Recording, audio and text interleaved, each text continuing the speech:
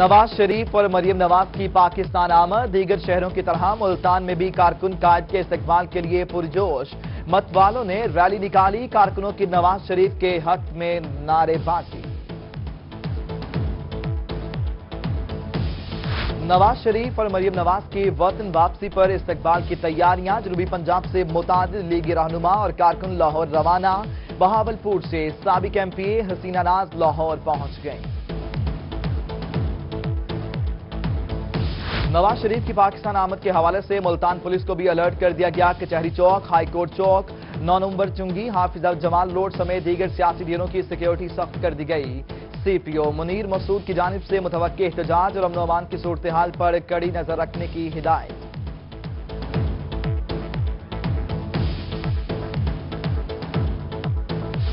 متحدہ مجلس عمل آج ملتان میں پاور شو کرنے کو تیار۔ مولانا فضل الرحمان سراج الحق سمیت دیگر رہنما کارکنوں کا لہو گروائیں گے۔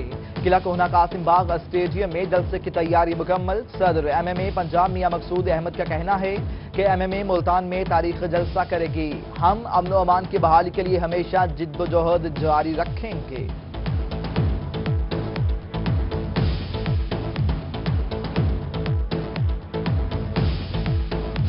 ڈیرہ غازی خان میں ڈسٹرکٹ مانیٹرنگ آفیسر کی کارروائیاں، انتخابی ذات اخلاق کی خلاف ورزی پر گیارہ امیدواروں سمیت بلدیاتی نمائندوں کو شوکاز نوٹس جاری۔ آٹھ افراد کو آج اور تین کو کل ڈی سی آفس طلب کر لیا گیا۔ زرتاج گل، احمد علی دریشک اور سردار عبدالقادر خان کھوسا سمیت دیگر شامل۔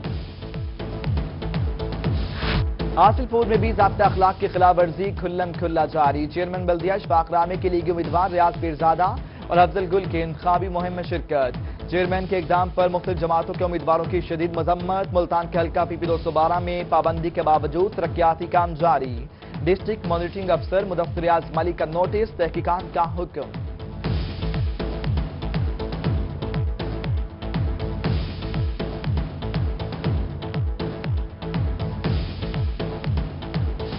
الیکشن کمیشن قوانین کی خلاف ورزی، ڈیرہ غازی خان میں تحریک انصاف کے جلسہ کروانے پر چیئرمین ملک رفیق منجھوٹا کے خلاف مقدمہ درج۔ ادھر لودرا میں بھی ڈاپٹی کمشنر ثاقب علی عطیل کا کہنا ہے کہ ضابطہ اخلاق کی خلاف ورزی کرنے والوں کے خلاف کارروائیاں جاری ہیں۔ کسی کو بھی الیکشن کمیشن کے قوانین کی خلاف ورزی نہیں کرنے دی جائے گی۔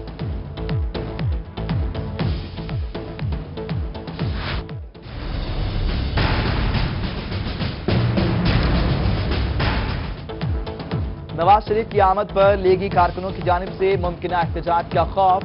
چھاپے، گرفتاریاں پکڑ دھکر متعدد رہنما نظر بند۔ لیگی کارکنوں کے گھروں اور ڈیروں پر چھاپے وہاڑی سے سابق ضلع ناظم آصف سمیت متعدد کارکنان گرفتار۔ بہاول نگر سے Noon League social media team کے رہنما گرفتار۔ جامپور سے لیگی امیدوار ضلع صدر حسام جاوید، گورچانی اور بہاول پور سے بلیغ الرحمان نظر بند۔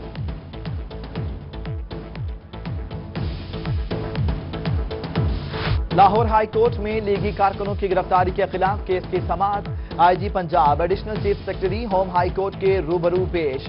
کورٹ کا حراست میں لیے گئے کارکنوں کو رہا کرنے کا حکم جاری۔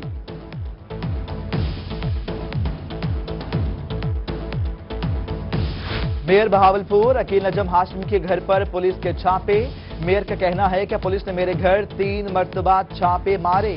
میرے بھائی کی گرفتاری کے لیے بھی گھر پر چھاپے مارے۔ نواز شریف ہمارے دلوں میں رہتے ہیں، پولیس کے چھاپے اور اوچھے ہتھ کنڈے۔ ہمیں اپنے لیڈر سے دور نہیں کر سکتے۔ ایک الیکٹڈ میئر کے ساتھ یہ سلوک ہو رہا ہے کہ میرے گھر پر تین مرتبہ پولیس ریڈ کر چکی ہے۔ میرے چھوٹے بھائی کو گرفتار کرنا چاہتے ہیں۔ مجھے ایس ایچ او فون کر کر یہ کہہ رہے ہیں کہ انڈر ٹیکنگ دیجیے کہ آپ نہیں جائیں گے۔ نواز شریف اور شہباز شریف کھلم کھلا پاکستان کے اداروں کو دھمکیاں دے رہے ہیں۔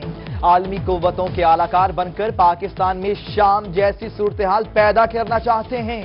دنیا میں کرپٹ لوگ نیلسن منڈیلا نہیں بن سکتے۔ تحریک انصاف کا لارڈز فورم کے صدر ایڈوکیٹ غلام مصطفیٰ چوہان کی ملتان میں پریس کانفرنس۔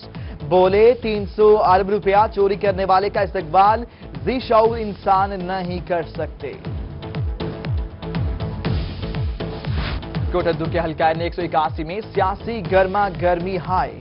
تحریک انصاف کے امیدوار ملک غلام مصطفیٰ کھر، آزاد امیدوار ملک سلطان محمود ہنجرا اور شبیر علی قریشی کے مبین سخت مقابلہ متوقع۔ تینوں امیدوار حلقے سے اپنی جیت کے لیے پرعزم عام انتخابات میں بارہ روز باقی۔ سیاسی سرگرمیاں عروج پر۔ اور شریف میں بخاری، سادات برادری جامرہ برادری، مہر برادری، بلوچ بھٹی، سیال برادری کا دیگر برادریوں سمیت پیپلز پارٹی کے نامزد امیدواروں کی حمایت کا اعلان۔ عام انتخابات سے قبل سیاسی گہمہ گہمی عروج پر پہنچ گئی۔ امیدوار انتخابی مہم کے لیے منفرد انداز اپنانے لگے۔ مظفر گڑھ این ایک سو بیاسی سے آزاد امیدوار ملک امان اللہ نے گدا ریڈی پر اپنی کمپین شروع کر دی۔ امان اللہ پچیس جولائی کو جیت کے لیے پر ملتان میں پی ٹی آئی کے امیدوار قومی اسمبلی زین قریشی اور امیدوار سوائی سندھی ڈاکٹر اختر ملک کی جانب سے کارنر میٹنگ کا انعقاد، حلقہ این ایک سو ستاون میں بلوچ برادری کا تحریک انصاف میں شمولیت کا اعلان۔ زین قریشی کا کہنا ہے کہ انتخابات میں کامیابی کے بعد نوجوانوں کے بہتر مستقبل کے لیے اقدامات کریں گے۔ میاوالی میں پیپلز پارٹی کی پی پی اٹھاسی سے امیدوار رخسانہ بنیاد کی پرزور انتخابی مہم جاری۔ گھر گھر جا کر عوام سے پیپلز پارٹی کے حق میں ووٹ دینے کی اپیل۔ ملتان میں تحریک انصاف کے district vice chairman Najma Nadeem اور پارٹی کی دیگر خواتین کا گھنٹہ گھر چوک پر نون لیگ کے خلاف مظاہرہ۔ مظاہرین کا کہنا تھا کہ لیگی لوٹیروں نے عوام کا پیسہ کھایا، انہیں سزا ضرور ملنی چاہیے۔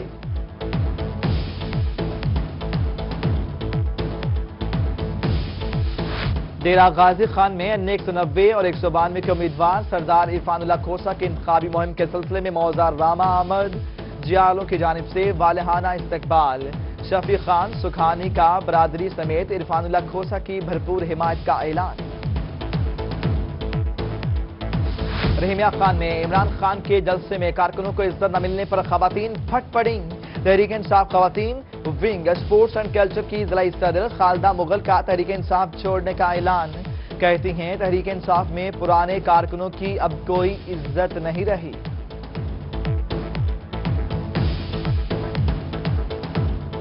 ڈیرہ غازی خان میں حلقہ پی پی دو سو ستاسی سے آزاد امیدوار امجد فاروق کھوسا اور محسن عطا کھوسا کی انتخابی مہم۔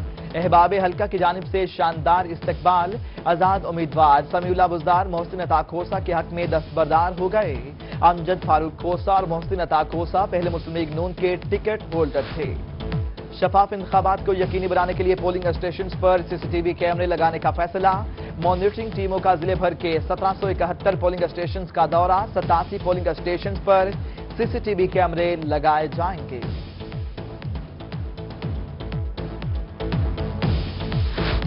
بہاولپور میں ڈینگی سر اٹھانے لگا۔ وکٹوریا اسپتال میں پچیس سالہ ڈینگی کی مریضہ داخل۔ وکٹوریا اسپتال میں اب تک چار ڈینگی کے کیسز سامنے آ چکے ہیں۔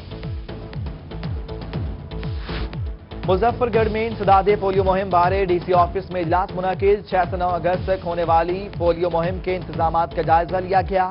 اجلاس میں C O health doctor Shahid Maksi focal person doctor Farhan Hashmi سمیت دیگر متعلقہ افسران نے شرکت کی۔ مہم کے دوران ضلع بھر میں آٹھ لاکھ تیئیس ہزار بچوں کو پولیو کے قطرے پلائے جائیں گے۔ ڈیرہ غازی خان میں ڈی سی علی اکبر بھٹی کی سرپرستی میں پولیو اور خسرہ مہم شروع کرنے کے حوالے سے اجلاس۔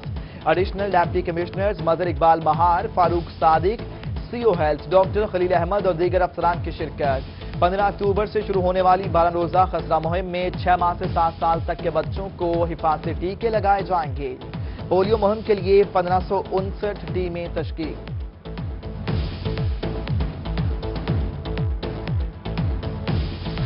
محکمہ ایجوکیشن کا اہم اقدام۔ مانسون میں اسکولوں میں شجرکاری مہم شروع کرنے کا فیصلہ۔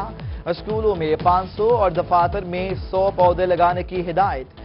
تمام ہیڈ ٹیچرز کو ہفتہ وار رپورٹ ڈسٹرکٹ ایجوکیشن آفس جمع کرانے کا حکم۔ بہاولپور میں سابق صوبائی وزیر ملک اقبال چندر کے بھائی ملک بلال چندر کی نماز جنازہ ادا کر دی گئی۔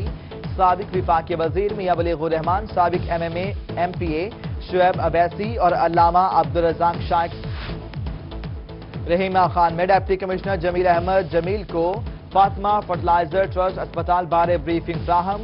ایم ایس ڈاکٹر افضل صاحب نے بریفنگ دی۔ اسپتال میں طبی آلات کی خریداری، لیبارٹری اور ایکس رے سینٹر سمیت دیگر انتظامات کے حوالے سے آگاہی دی گئی۔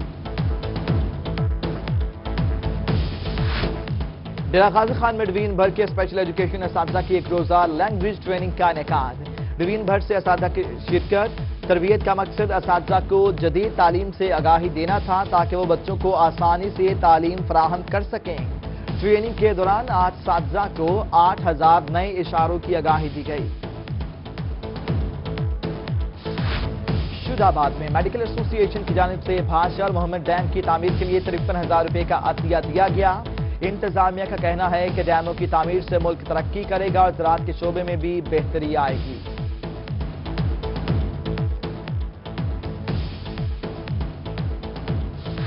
نواز شریف زرعی یونیورسٹی ملتان کے ذریعے تمام تین روزہ مینگو فیسٹیول کا افتتاح کل ہوگا۔ Australian high commissioner Margaret admission کریں گی۔ فیسٹیول میں آم کی سو سے زائد اقسام نمائش کے لیے پیش کی جائیں گی۔ فیملیز اور بچوں کی تفریح کے لیے خصوصی اقدامات کیے جائیں گے۔